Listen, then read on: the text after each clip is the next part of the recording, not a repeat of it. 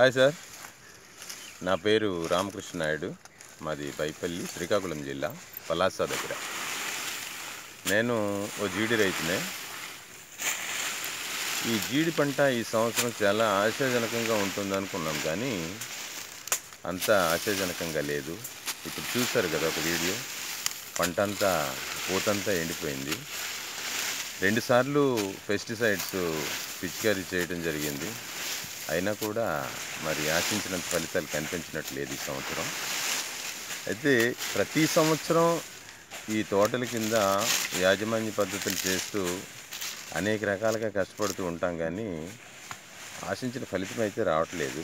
అయితే ఈరోజు link farmer అనే ఈ వెబ్సైట్ ద్వారా మేము చాలా విషయాలు తెలుసుకోగలుగుతున్నాము.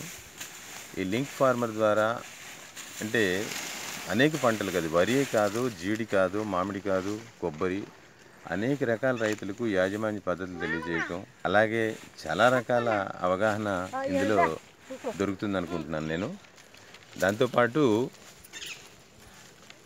ప్రధానంగా జీడి రైతులకు ఉన్న ప్రధానమైన సమస్య ఏంటంటే గిట్టుబాటు ధర లేకపోవటం. ఈ గిట్టుబాటు ధర లేకపోవడం వల్ల ఏమవుతుందంటే తెగ నమ్ముకోవాల్సి వస్తుంది.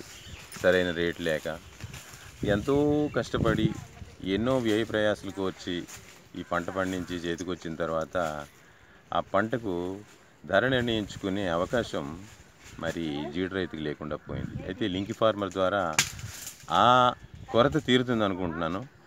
ఈ లింక్ ఫార్మర్ ద్వారా రైతులు తమ ఉత్పత్తుల్ని అమ్ముకునేందుకు వీలుగా సరైన గిట్టుబాటు ధర పొందేందుకు అవకాశం ఉంటుందని నేను భావిస్తున్నాను. తప్పకుండా ఈ లింక్ ఫార్మర్ని మరింత డెవలప్ చేసి రైతులందరూ సపోర్ట్ చేసి